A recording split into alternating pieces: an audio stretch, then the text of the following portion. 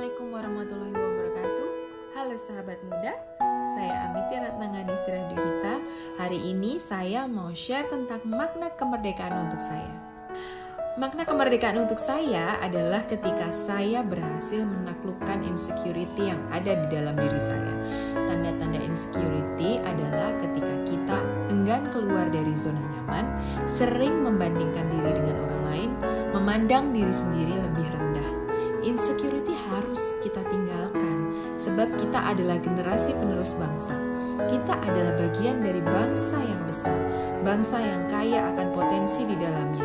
Seperti contohnya, kaya akan budaya, sumber daya alam, dan sumber daya manusia.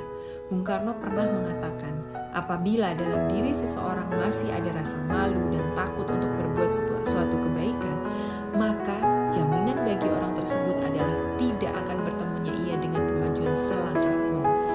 Sahabat muda, dalam masa pandemi seperti ini, banyak yang kita bisa perbuat untuk bangsa ini untuk bangkit.